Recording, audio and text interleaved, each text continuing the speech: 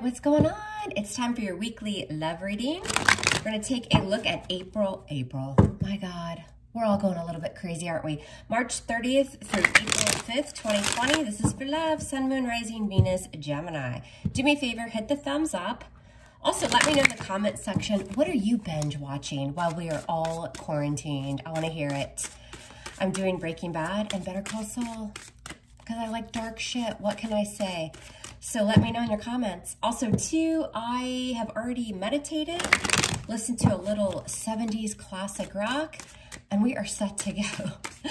Gemini, Sun, Moon, Rising, Venus. What do we need to know? March 30th through April 5th, 2020. Sometimes I say bad words. If it offends you, hard left but I hope you stay. If you guys want the extended reading, the link is going to be below as well. Let's get to it. What happened in the past? Well, maybe you did with the King of Swords, Libra, Gemini, Aquarius energy. Maybe you're dealing with another air sign. What's the current energy? What do we have? Ooh, the Eight of Swords. Look at all those swords. Gemini energy. What's on your mind or your person's mind? The Strength card. Maybe you're connecting with a Leo. All right, how does this person view you? What's their perception? The Nine of Swords more Gemini. Look at all this mental energy, Gemini. What's going on in their emotions? How do they feel deep down? The Ace of Cups in reverse. All right. How do they want to move forward? Or how do they think you'll move forward? The Star. Major for Aquarius. So some of you are definitely dealing with an Aquarius with all this air energy as well. What's going on behind the scenes? What are the blockages? Justice. Major for Libra. What's your advice from the tarot when dealing with this person? The Knight of Wands. And what's the outcome for you guys? How's this going to play out? We have the Eight of Wands, Sagittarius energy. All right, what's going on at the bottom of the deck, Gemini? What's your overall energy? It's the Chariot, Cancerian energy. All right, maybe you're at a distance from this person. Could be, could be. All right, I'm going to clarify using the tarot gland, gland Mom cannot speak, you guys. The Tarot Grand Lux. Are you guys going batshit crazy? I mean, who isn't these days? All right, let's see what's going on with you guys. So this is for Gemini. Sun, Moon, Rising, Venus. What's in store for love? Let's move you down a little bit so you get a nice glimpse of your cards. All right, what does Gemini need to know, please? March 30th through April 5th, 2020. I can't believe we're already almost into April. That's nuts. All right. King of Swords in the recent past. So some sort of truthful communication, or maybe somebody seemed a little bit detached as well, because somebody's trapped in their thoughts. They feel they're thinking about something over and over and over. Could be some restrictions going on right now. All right, and on their mind, they're having to kind of hold back here with the strength card or just overcome some obstacles. They're trying to find their strength. I mean, who isn't these days? They view you as being stressed out as well, though. The Nine of Swords. That's just their perception. It doesn't have to be. It's true. All right. Maybe that you're losing some sleep at night. Um, and in their emotions, they feel something's a little bit unrequited right now. With the Ace of Cups in reverse or that they just can't give you the love but moving forward, they do, they're, they're remaining hopeful. They've got the star card here. So, all right, let's see what the hell is going on. This is for Gemini's love life. Let's see what's up. All right, let's check it. Why is the chariot the overall energy? Again, some of you might be dealing with a Cancerian. What's this chariot energy about? Temperance.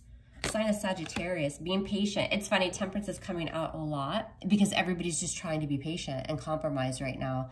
This is the yin and the yang. It's balancing the emotions. It's tempering the emotions as well and being patient. And I think it has something to do with moving forward. Why is temperance here right now? Or maybe you're at a distance. The death card, sign of Sagittarius. Oh, Sagittarius, Scorpio.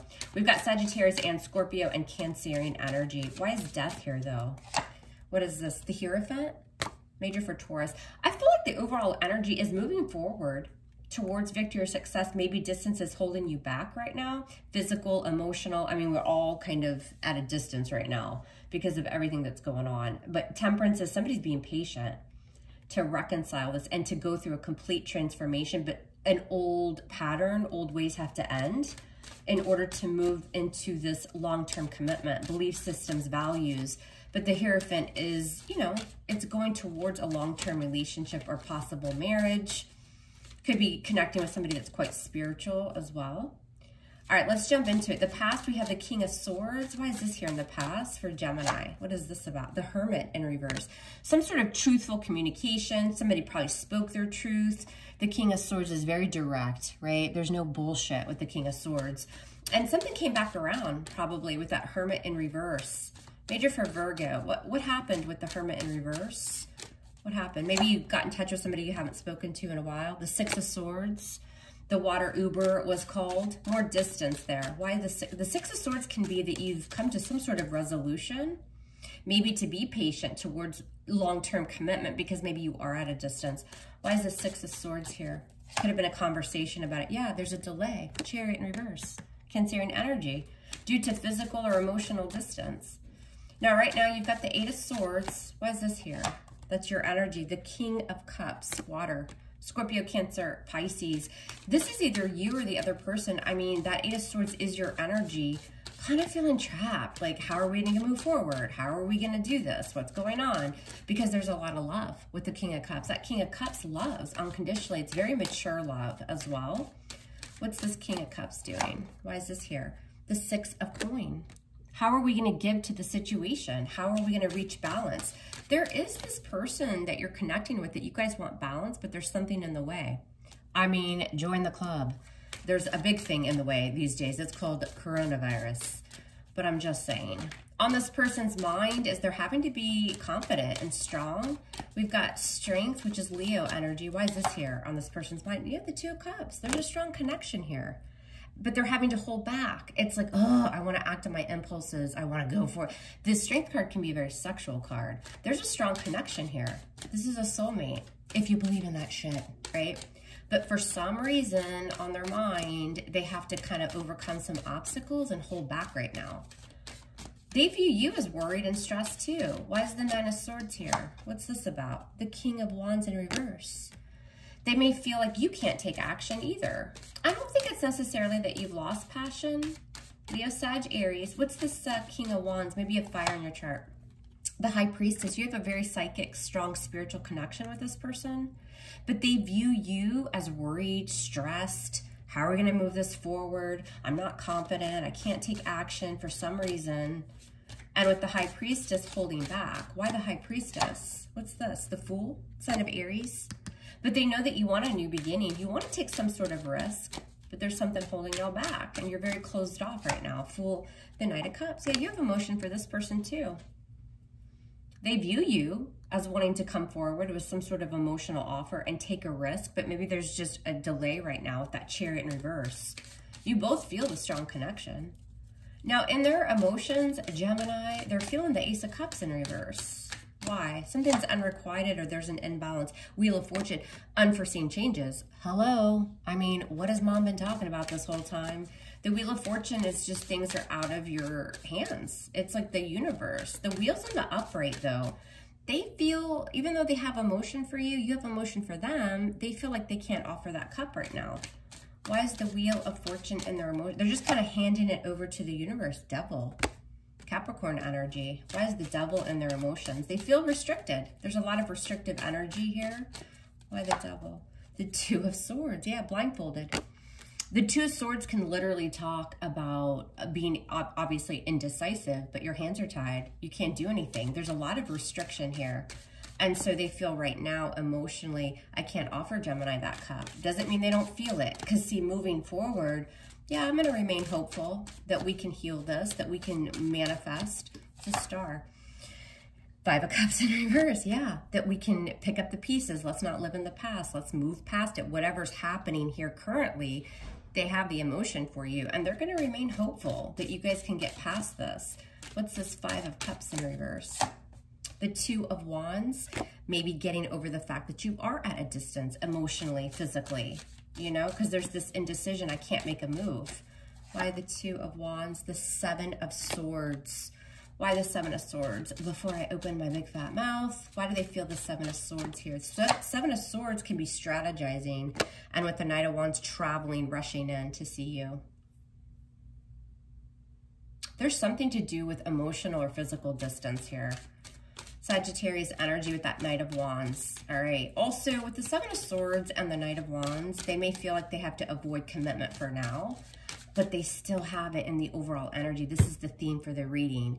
But for now, they're like, whoops, I got to kind of pull back. I can't, I can't speak about long-term right now. You know, they feel it, but they don't want, it's almost like they don't want to say it because they can't offer it at this moment. Why are they, why is the Two of Cups on this person's mind? We need to dive deep. I'm a Scorpio. What can I say? The Nine of Swords. Yeah, see, they're worried about this connection because there's something that's keeping you guys apart. And with that Nine of Swords, they're stressed out about it. How's this going to come together? Why the Nine of Swords? Justice. You're dealing with somebody who wants to do the right thing. They're waiting for balance. They're waiting to make some sort of decision too because justice is taking a bad situation and making it better major arcana, big shifts in energy, a reconciling, that kind of thing. They're waiting, they're waiting, they're waiting, they're waiting. Life story, right, Gemini? What's going on behind the scenes is also justice. Why is justice here going on behind the scenes? The nine of coin. Balance, doing it on your own for a little while. You guys are separated. This is a reading for somebody that's separated and can't be together, but there's emotion and there's acknowledgement that it is a soulmate waiting for balance. You both want to do the right thing. Nobody's trying to screw anybody over, at least not in this reading. All right, but with the nine of coin, trying to get that coin together, trying to get your stability and be on one zone, having to be on one zone for a little bit. Why is the nine of coin in here? Yep, because of the six of cups. You might be dealing with somebody that has children. They might be a business owner, something like that. They're trying to get their stability together. Six of cups, though, again, soulmate energy. Why why is the Six of Cups here going on behind the scenes? Judgment.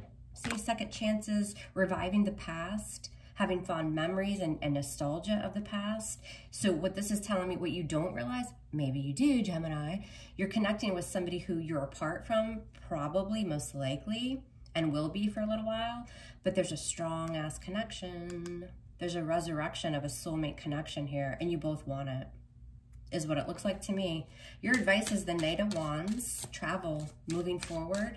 What's this Knight of Wands about? Yeah, travel and moving forward. I just said it. And then the Eight of Wands came out. Again, travel and moving forward.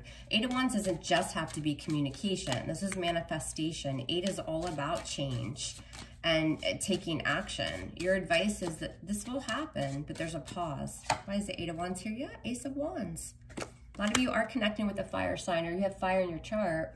There's a new beginning here. They're telling you to be patient. There's a, a lot of drive and action, but not yet. There's a pause. The outcome also has the Eight of Wands. So there's going to be a lot of um, back and forth communication, but also change is coming with that Eight of Wands and movement forward. What's quickly? What's the Eight of Wands? quickly the Knight of Swords. There you are, Gemini.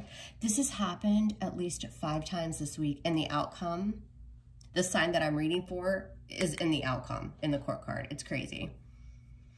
Quickly, things are going to shift very, very fast. With that Eight of Wands and the Knight of Swords, that Knight of Swords is the fastest moving knight in the deck. And it's like when you least expect it, there's a huge turnaround, a big shift. And it's because you guys are being persistent and patient. Remember, we have temperance here because we're waiting for old ways to die. There needs to be a transformation to go towards this long-term commitment. And it's happening. What's the Knight of Swords? Why is this here? Knight of Swords? Ten of coin. Told you. Commitment, commitment, commitment. Marriage, commitment. For those of you that are already with this person, I mean, we're all going through this draining energy. There's emotional separation here. People are doing their own thing. It comes back together. If you're not with this person, you guys just have, there's some, some delays, especially with that chariot in reverse there. But the Ten of Coins says, yeah, there's stability, there's value, there's tangible, you know, energy tied to this that can go the long haul, but you're going to have to be patient. Why is the Ten of Pentacles here? What is this about? The magician in reverse, Gemini, Virgo energy. Things are out of your control. You have no power over the situation right now. So temperance is a big, big theme here. I want to learn more about temperance. Tell me why temperance is the overall energy for Gemini and this person because of the tower. Wow, scorpionic energy. A big shakeup, something, well, that was shocking. Can anybody think of anything that was, well, maybe shocking that we weren't all expecting? Why do we need to be patient? Why? I mean, you can't even make this shit up. Why is the tower here? What's this big event or shocking event? What's the tower? The star, healing. And that's what everybody's doing. And guess what? Everybody else is, everybody's remaining hopeful right now too that we're going to get past all this bullshit because it really is keeping people apart that want to be together. I've seen that kind of theme in the readings the last couple days. It's no accident. That star card is wishing, it's manifesting, soulmate twin flame shit. Waiting, seven of coin. You guys have already planted those seeds and now you're just waiting to be able to pick, right? Your harvest waiting, reflecting. So this is all about being patient. Transformations are coming in and you guys are waiting and reflecting. It's actually not a bad reading. I like it. Why is justice on this person's mind? Waiting for balance, waiting to do the right thing. Why is justice here? Empress, beautiful. Libra, Taurus energy. They want to grow. They want to feed the connection. I like both of y'all's energy. Everybody looks pretty honest in this reading. I don't see deceit. I don't see cheating or lying or anything like that. I just see a halt right now. But on their mind is to build and grow and nurture the connection. The Empress is beautiful energy. They're probably very attracted to you physically, but also emotionally, who you are as a person. It's abundant. And again, love, you know, the Empress is ruled by Venus. It's all about love right? So feeding that connection and growing and having a new beginning, that's definitely on their mind. They're just at a loss here right now in the outcome, but it comes back together. It's going to be when you least expect it. There's big, big changes. And I also feel like you guys are going to have a lot of swift back and forth communication. All right, Gemini, for those that want to uh, check out the extended reading, we're going to dive into their emotions, what's on their mind, how they're going to move forward. I'm going to clarify the shit out of that reading. All right, so I'll see you over on Vimeo for that. If not, I bid you farewell. Loving you hard, love me hard back, and we'll speak soon. Take care.